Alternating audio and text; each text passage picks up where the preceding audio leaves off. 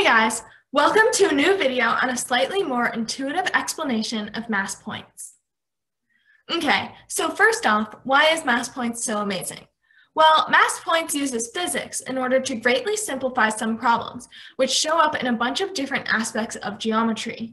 And this makes it really essential in competition math. Mass points problems show up as much as once per competition cycle, and it's basically a free question if you can use it, so it saves a ton of time.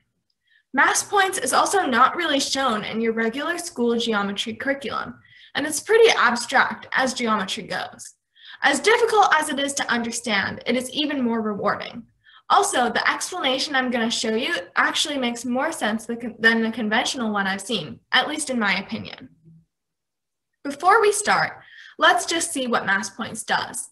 On a higher level, mass points basically gives you this. If you have a triangle and you have points from the vertices to the other sides of the triangle, then you get information on the ratios between all of these lengths.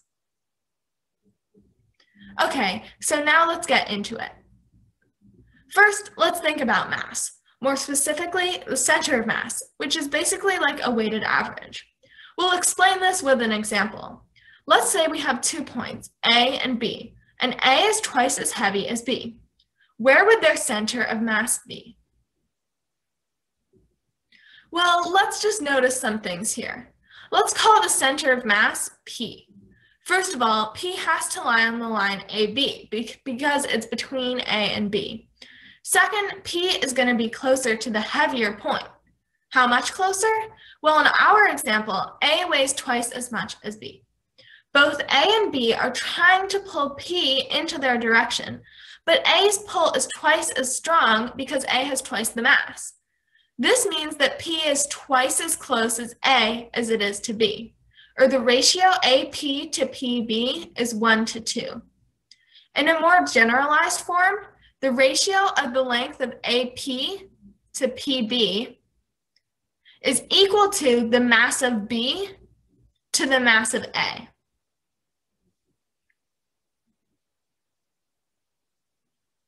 In this example, the mass of B is 1 and the mass of A is 2, so the ratio is 1 to 2, which is the same as the 1 to 2 ratio of AP to PB. It's easy to get confused by the order here, if you do, just remember that P is always going to be closer to the heavier point.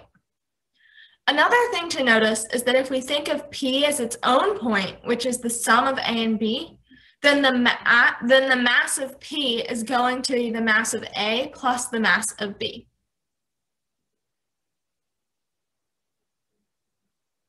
In order to test your understanding, let's try a simple problem with this. The center of mass of A and B is P. The ratio of AP to PB is 3 to 2. P has a mass of 10. What are the masses of A and B? Okay, so please pause this video for a moment to try this. So here's the solution. Well, in mass points, we can write um, the mass of a point right before the letter. So we can write 10p. Remember this notation because we'll use it again. We want the ratio of the masses of A to B to be 2 to 3, since AP to PB is 3 to 2. And this goes to back to what we showed in the previous slide. So we have two numbers with a ratio 2 to 3 with a sum of 10. And we could find these numbers algebraically, but it's easier to just try some numbers and find that A has a mass of 4 and B has a mass of 6. The ratio 4 to 6 is 2 to 3, so this example works. Okay, so now we have to actually use this for something with geometry. And in order to make this actually interesting, let's use three points instead of two. Okay, so let's just say the plus symbol means center of mass, because the center of mass of two points is like adding them. So in this case with three points, we have that P is the center of mass of A, B, and C. F is the center of mass of A and B, D is the center of mass of B and C, and E is the center of mass of A and C. Now, mass points has this important property called associativity, which means that if you group some of the centers and do those first, then you will still get the same result in the end. This is a fancy way of saying that no matter how you put the parentheses, you're still going to get the same center of mass in the end. So this means that if you first find the center of A and B, which is F, and then you find the center of that with C, then the resulting point is the same as the center of mass of A, B, and C. So the center of mass of F and C is P, of B and E is P, and of A and D is P. Remembering that the center of mass of two points lies on the line between them, we see that AD, BE, and CF all intersect at P. And you may have seen this before as concurrent Cevians. Now let's use this knowledge to do an actual problem. We're, we're given the information that AF to FB is 2 to 1, and BD to DC is 3 to 2. We are asked to find the ratio AP to PD. Let's start by assigning some masses.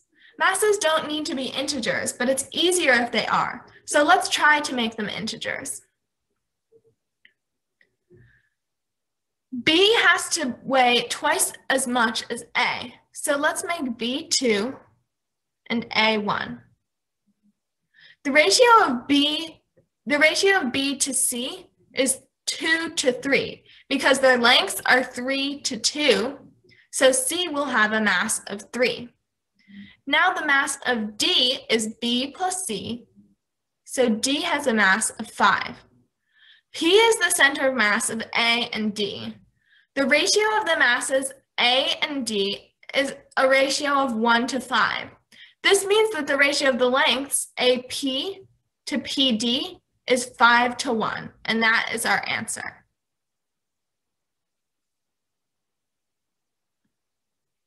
So here's the three-step process to using mass points. First, you assign a weight. Next, you use that to find the other weights using the given ratios. And finally, you find the desired ratio. Be warned, many mass points problems are hidden. A lot of problems use mass points as one step in a larger process. So what is mass points important for? Well, here are some examples of its uses. Since it looks at concurrent Cevians, we can use it to prove that the me three medians intersect at one point, which you may know, know as the centroid. If you don't know, medians are the lines from each point to the midpoint of the opposite side. We can do this by looking by first drawing two of the medians.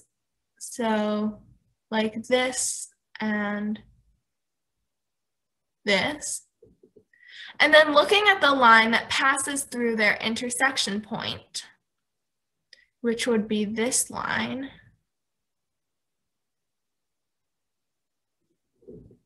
we will prove that this blue line turns out to be a median as well. There isn't time to cover the exact proof here, but it is trivial by mass points.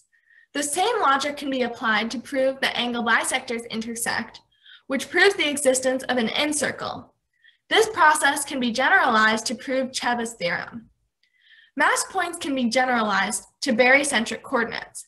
It can be used indirectly for a plethora of problems used in competitions. Remember that mass points isn't necessarily on a triangle, but it could be used with four points as well, and can be hidden in all sorts of geometry problems. That's all we have time for today, but there's some more info and more uses of mass points in the description. If you enjoyed this, please like and subscribe so that I can make more videos. Thanks for watching and see you in the next video.